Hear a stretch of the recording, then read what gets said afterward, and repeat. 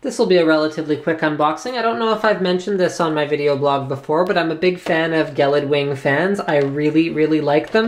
They undervolt extremely well, which is to say they don't tick or hum when you turn down the voltage to get them to quiet down and they're also uh, reasonably quiet when they are running at full speed. So um, this is a new updated version of the Gelid Wing.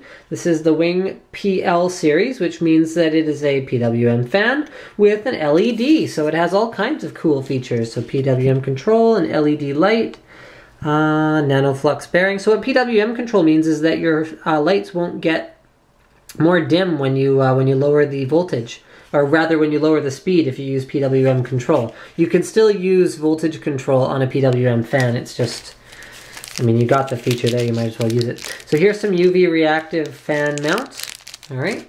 So I'll show you those under UV light in just a moment. And then here is the fan with the UV reactive blades as well as white LEDs mounted in the housing.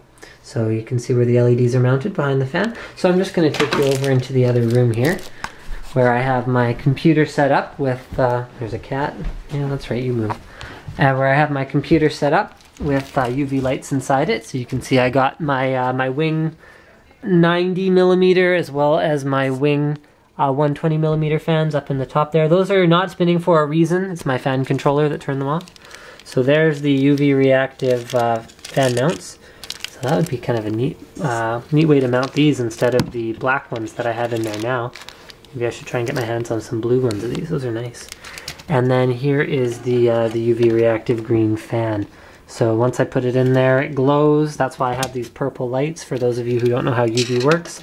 And no, uh, regular cathode lights like white, blue, red, they will not make stuff glow like this. You have to use UV in order to get this effect, which I personally really like, but it's not for everyone. So hold on, give me two seconds. I'm just going to adjust my camera, so hopefully I can kind of point it at what I'm doing here.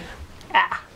And I just want to plug this fan into my motherboard so that I can uh, show you guys what it looks like with the LEDs lit. And I have no idea what that's going to look like, so we're all going to find out together because that's the beauty of this channel. Unscripted, uncensored, un professional sometimes, but what are you going to do?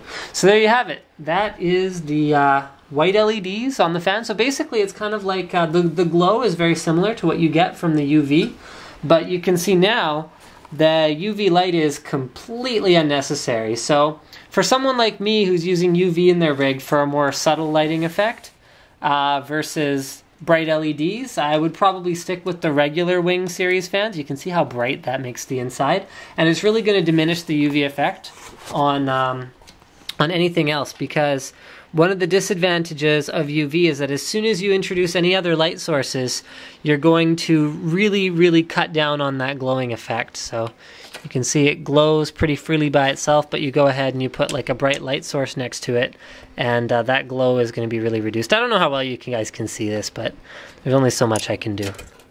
So thank you for checking out my unboxing and uh, first impressions of the Gelid Wing 12 PL fan.